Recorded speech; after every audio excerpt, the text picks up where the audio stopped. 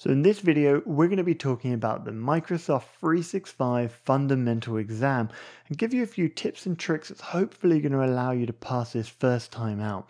So if you're new to this channel, my name is Harry Lowton. I'm a technology strategist for Microsoft. And the goal of this channel is to teach you technology and hopefully show you a few tips and tricks that's going to help you and your organization.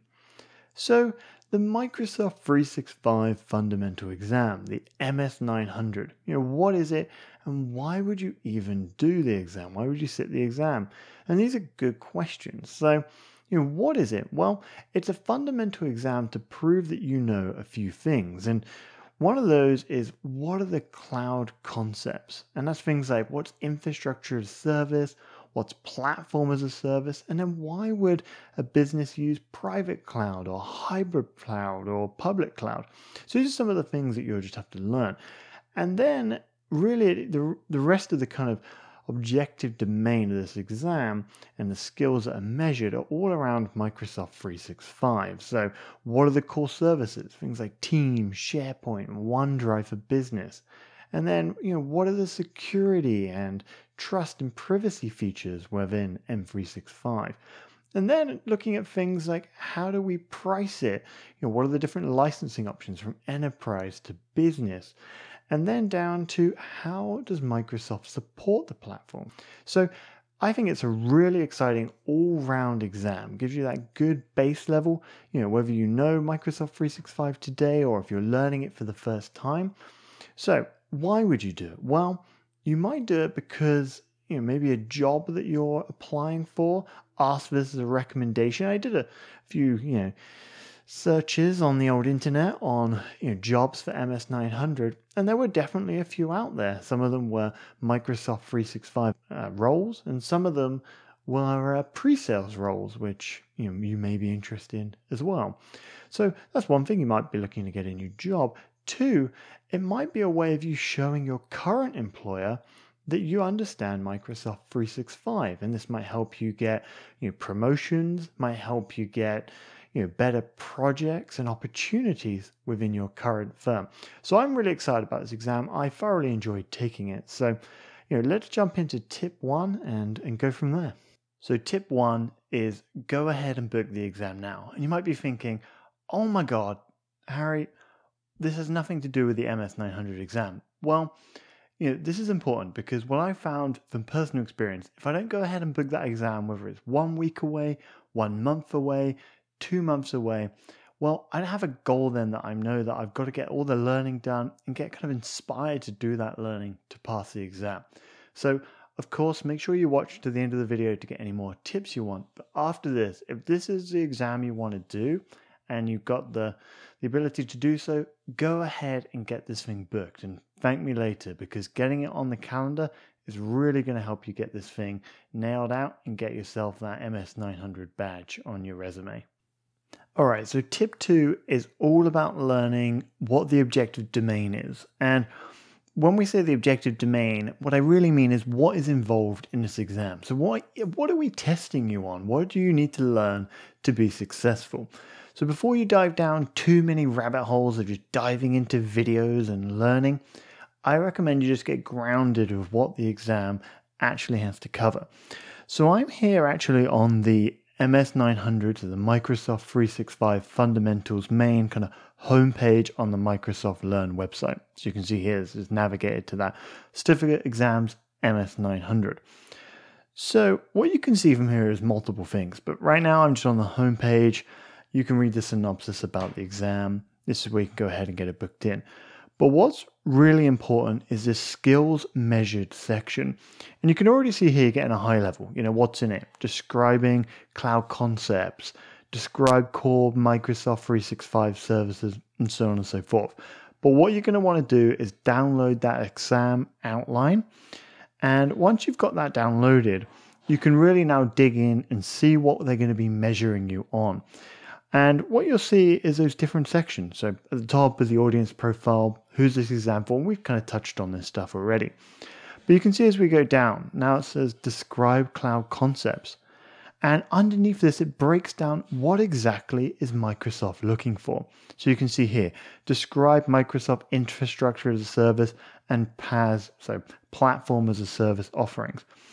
And as you go down this, you can see there's multiple things, you know, describe core services, productivity and teamwork.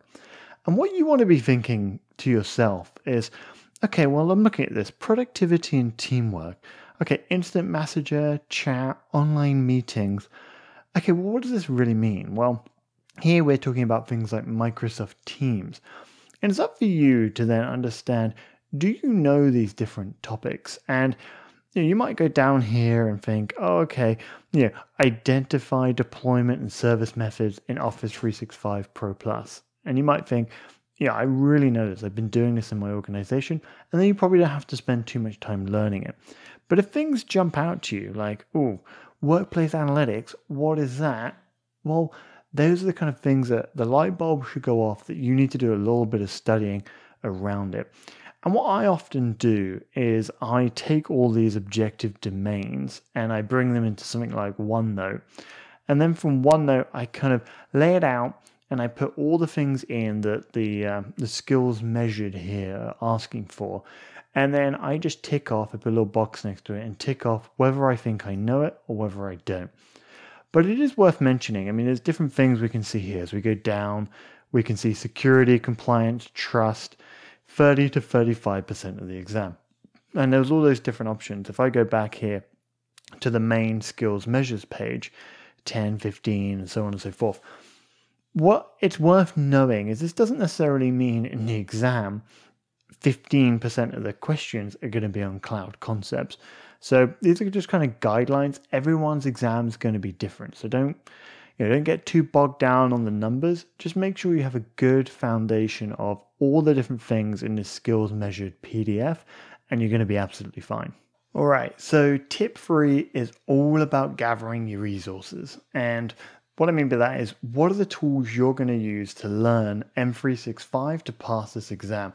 So I'm going to give you the things that I used, and I'll talk about some other things that I think could be helpful, but I didn't use myself. But you know, I still think they're a good recommendation because everyone learns differently.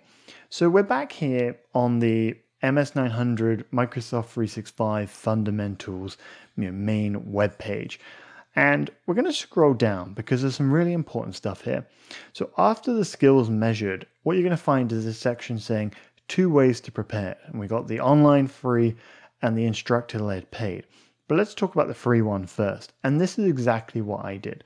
So, first thing, you know, after I booked the exam and looked at the skills measured, I went to this resource right here, which is our Microsoft Learn.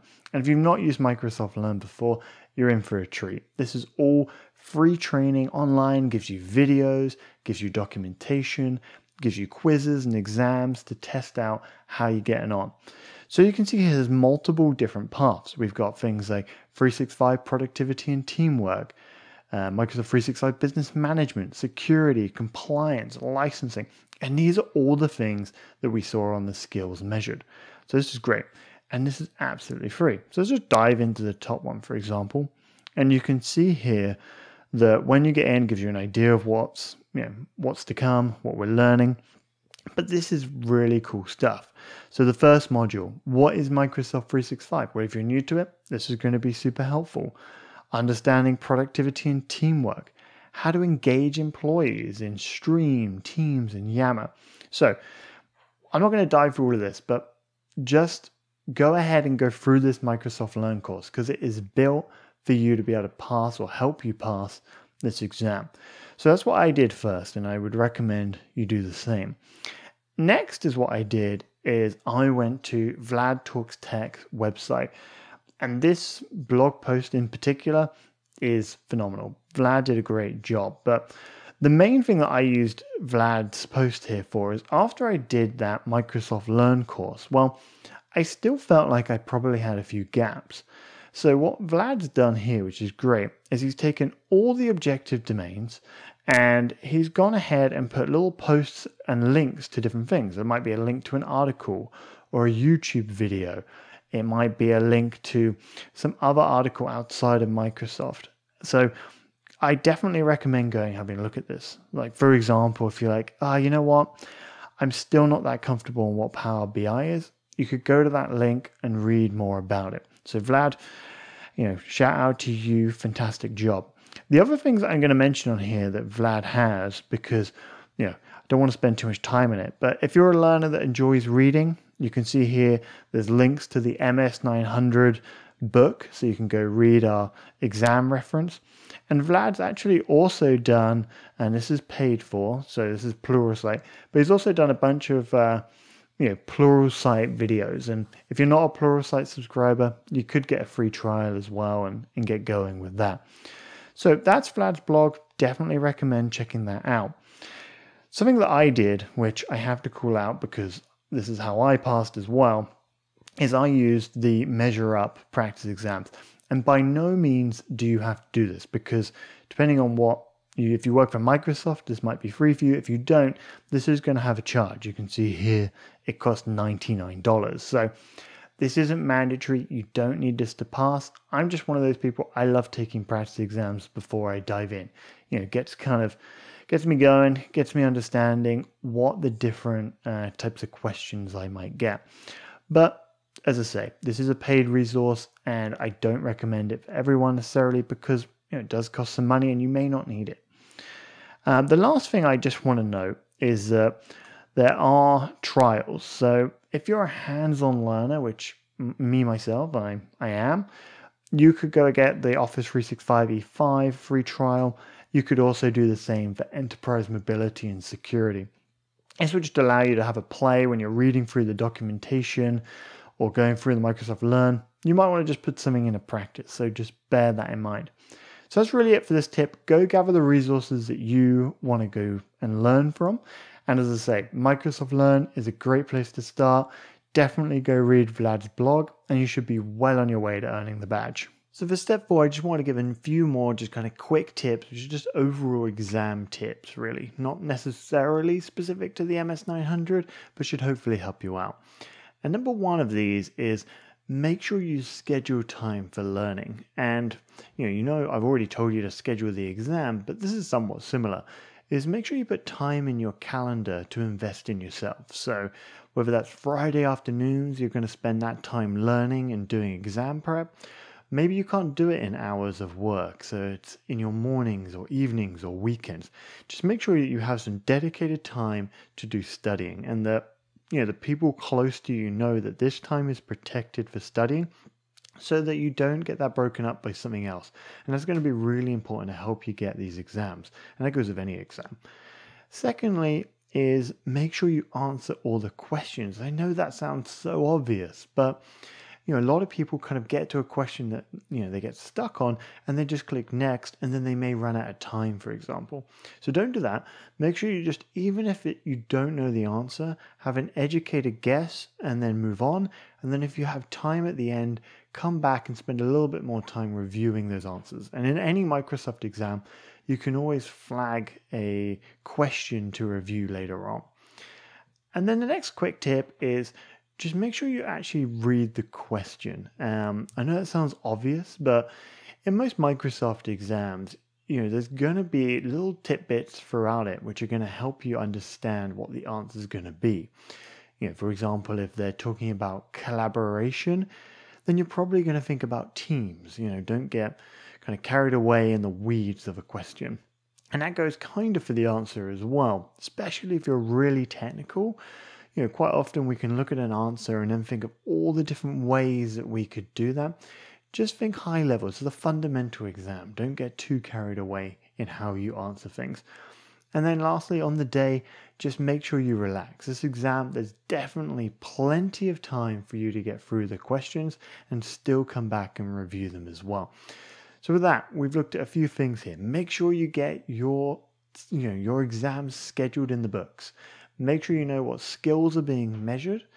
Make sure you've got all the different kind of prep and resources that you need to be successful. And that's going to be it. On the game day, just go out there and crush it and earn your badge. And you know, I look forward to seeing you next week for some more tips. So make sure you like and subscribe, and we'll see you soon.